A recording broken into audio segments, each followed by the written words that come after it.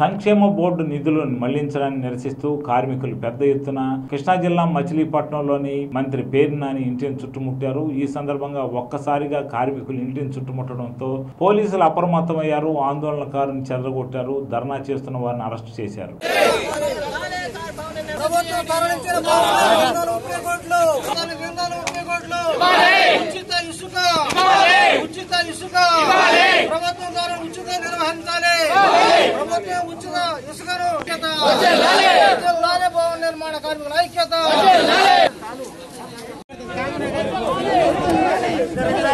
ప్రభుత్వ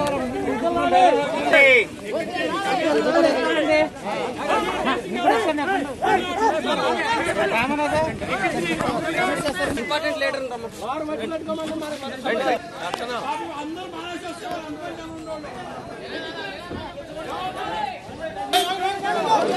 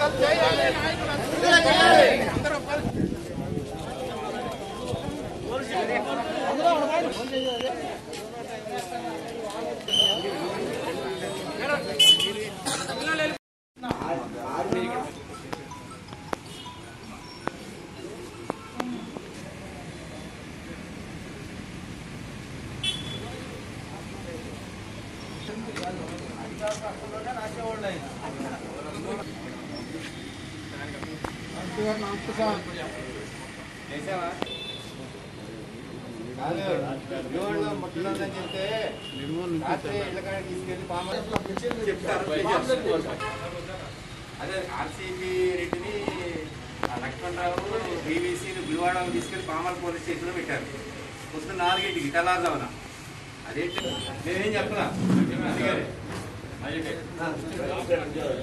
భవన నిర్మాణ కార్మికులు ముప్పై లక్షల మంది ఉన్నారు. మరి భవన నిర్మాణ కార్మిక సంక్షేమ బోర్డులో కేంద్రంలో ముప్పై వేల కోట్లు ఉన్నాయి రాష్ట్రంలో రెండు వేల ఎనిమిది వందల కోట్లు ఉన్నాయి సంవత్సరం నుంచి పని కోల్పోయి పస్తులు ఉంటున్నారు అర్ధరాకులతో జీవిస్తున్నారు.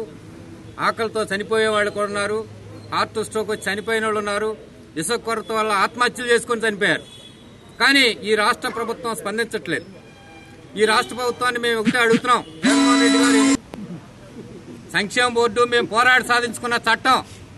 మా చట్టాన్ని ఈరోజు ఏ చట్ట ప్రకారం ఏ హక్కు ప్రకారం మీరు మా చట్టంలో ఉన్న డబ్బులు ఎనిమిది వందల ముప్పై కోట్లు తీసుకెళ్ళి వైఎస్ఆర్ బీమాకు కానీ ఉచిత మీటర్లు బిగించేదానికి కానీ ఖర్చు పెడతాం. హక్కు ఎక్కడిది మీకు?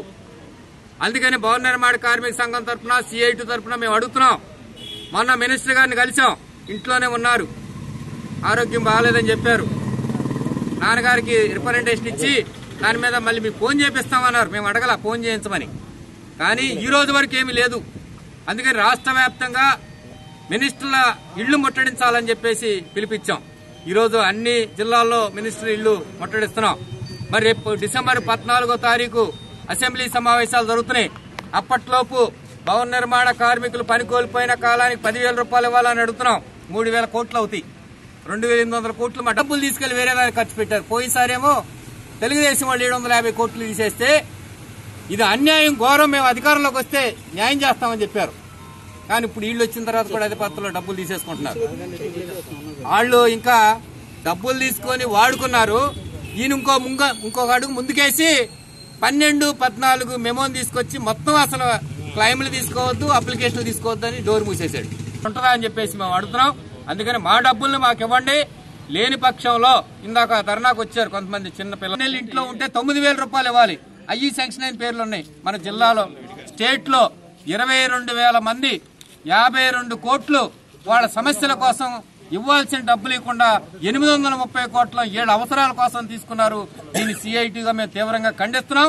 రాబోయే కాలంలో డిసెంబర్లో ప్రభుత్వం అప్పటిలోపు దిగిరాపోతే ఈ ఉద్యమాన్ని తీవ్రతరం చేస్తామని చెప్పి రాష్ట్ర వ్యాప్తంగా భవన నిర్మాణ కార్మికుల సమస్యల మీద రాష్ట్రంలో ఉండాల్సినటువంటి మంత్రులు ఇళ్ళు అన్ని కూడా ముట్టడి చేయాలని చెప్పి అనేది మరి రాష్ట్ర కమిటీ పిలుపు మేర కార్యక్రమం చేస్తాం జరిగింది.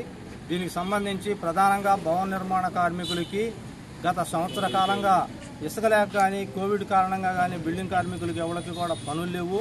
వాళ్ళ ఇల్లు గడుస్తూ చాలా దుర్బలంగా ఉన్న పరిస్థితుల్లో భవన నిర్మాణ కార్మికుల నిధి నుంచి తలకు పదివేల రూపాయలు ఇమ్మనమని చెప్పాము. కానీ ప్రభుత్వం ఆ రకంగా ఇవ్వకోకుండా బిల్డింగ్ కార్మికుల డబ్బులు ఎనిమిది వందల ముప్పై కోట్ల రూపాయలు వైఎస్ఆర్ బీమా కానీ అట్లాగే రైతులకు మీటర్లు బిగించే దానికోసం కానీ తీసుకుని ఇతరాతర ఖర్చు చేస్తుంది కానీ భవన నిర్మాణ కార్మికులు డబ్బులు అనేది ఇష్టం లేదు. దాంతోపాటు ఇవాళ ఇసుక సమస్య మరి ఈ ప్రభుత్వం ఏర్పడిన తర్వాత ఇసుక సమస్య చాలా ఇబ్బందిగా ఉంది. దానితో ఇవాళ నిర్మాణ కార్మికులు నూటికి యాభై మందికి కూడా పనులు లేవు. గతంలో వలె ఇసుక ఫ్రీ ఉచితంగా ఇవ్వాలని చెప్పి అనేది.